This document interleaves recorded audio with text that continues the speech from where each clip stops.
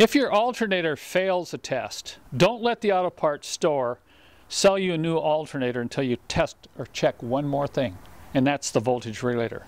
All Mercedes alternators from the mid 70s up to the mid 90s use an internal voltage regulator that is replaceable for between 20 and 30 dollars.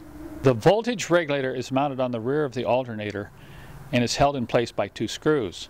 When you remove these two screws you can rotate and pull the regulator up out of the alternator housing. Note the two brushes here and these brushes wear like any other brushes on any other motor.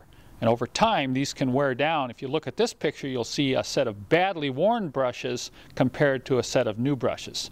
If either one of the brushes is worn to below one quarter inch in length, then the regulator should be replaced. In 8 out of 10 times, I have found that replacing the voltage regulator will restore an alternator to proper output.